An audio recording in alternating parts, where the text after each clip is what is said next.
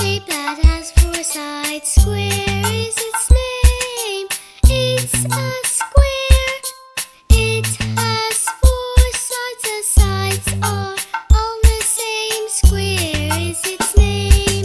Squares can be different sizes and different colors. This gold square.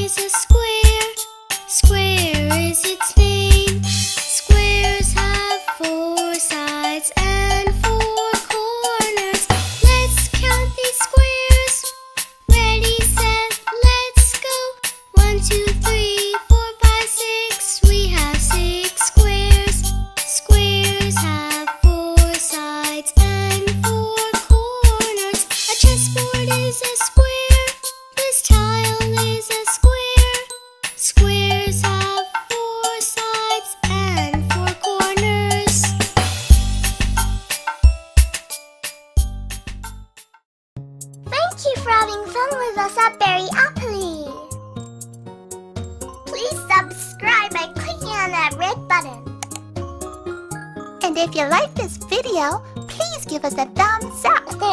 Thank you. We love you. You're great.